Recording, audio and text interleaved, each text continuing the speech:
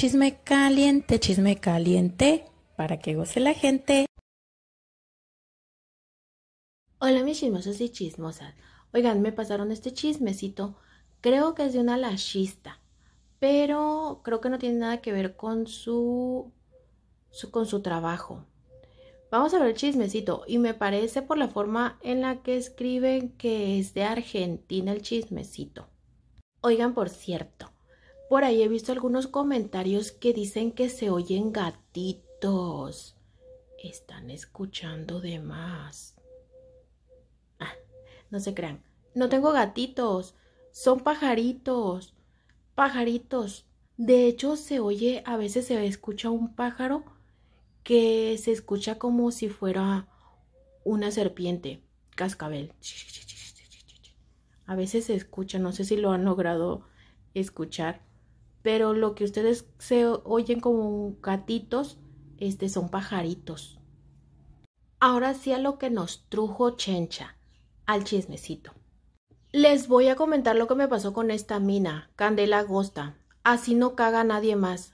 Fui a un turno para hacerme las pestañas con ella. A los minutos me dice que según ella mis pestañas están muy dañadas y si me hace el trabajo que quiero se me puede caer el al otro día así que me recomienda hacerme una nutrición. Le digo que sí, todo bien. Me quedé 15 minutos aproximadamente con la vista cerrada en la camilla. Antes de irme le digo que le pago en efectivo, a lo que se niega y me dice que solo le transfiera. Le transferí del cel y me fui. Voy a otro local y a la hora de sacar mi billetera no tenía mi tarjeta de débito y me faltaban seis mil pesos. Entro al home banking y ya habían hecho dos compras de más de veinte mil pesos con mi tarjeta en una tienda de la misma cuadra de su local. Voy a la tienda donde hicieron la compra, ya que en la aplicación te sale dónde fue. En la tienda reconocieron que hicieron una venta de ese monto y que no pidieron DNI, que está malísimo. A lo que les muestro una foto de esta mina porque era de la única que podía sospechar y me confirman que fue ella la que compró con mi tarjeta.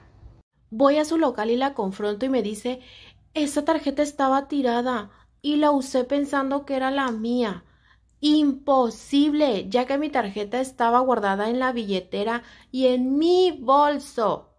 Una excusa terrible para no reconocer que me robó, y ahí me devuelve mi tarjeta después de haberlo usado como si nada.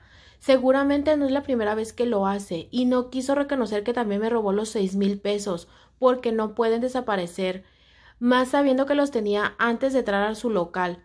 Yo laburo todos los días, nadie me regala nada, como para que me roben en la cara. Tengan cuidado y no se atiendan con una persona así. Compartan. Ay, qué feo caso. Y ustedes a lo mejor dirán, ay, pero ¿por qué fue a comprar tan pronto? Porque a lo mejor ella creyó que no iba a sacar tan pronto su cartera la chica, ¿verdad? Y ha de haber dicho antes de que la bloquee, pues aprovecho y compro, ¿verdad?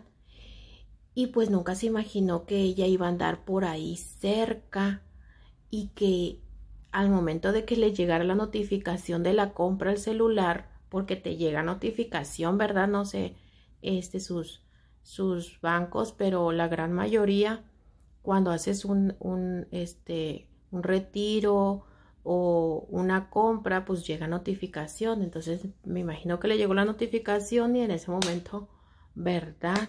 Pero pues esto fue lo que no pensó la chica, que al momento de que ella hiciera la compra, la otra persona pues se iba a dar cuenta. Ay, no, oiga, ¿por qué hacen eso? Si tienen trabajo, ¿verdad? ¿Por qué? Porque a lo mejor es este ¿Cómo se les llama a las mitómanas? No. ¿Clautómanas? Cleptómanas. Pero bueno, ahí se queda el chismecito. Juzgue usted mismo. Adiós.